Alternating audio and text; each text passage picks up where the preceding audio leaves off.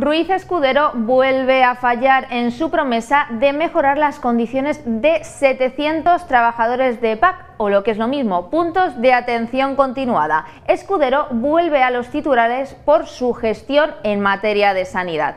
Los sindicatos presentes en la mesa sectorial de sanidad han convocado una huelga indefinida a partir del próximo martes 25 de octubre, coincidiendo con la apertura prevista de los 78 puntos de atención continuada como decíamos, PAC en la Comunidad de Madrid. A este sector están llamados cerca de 700 profesionales sanitarios que solicitan al consejero de Sanidad madrileño, Enrique Ruiz Escudero, que cambie el modelo propuesto. Y por supuesto se reclama que negocie los horarios de trabajo y la normativa de las urgencias extrahospitalarias.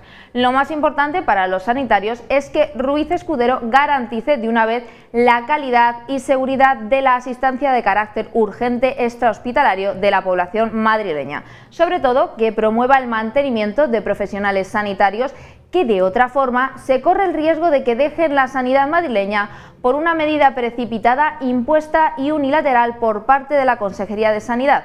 Ahora es el momento para que el gerente de Sanidad en Madrid cumpla la promesa que le ha hecho a los sanitarios, echarles una mano y aceptar sus propuestas. De momento la situación se queda en el aire y a los sindicatos están en huelga a la espera de una jornada complementaria en la mesa de negociaciones.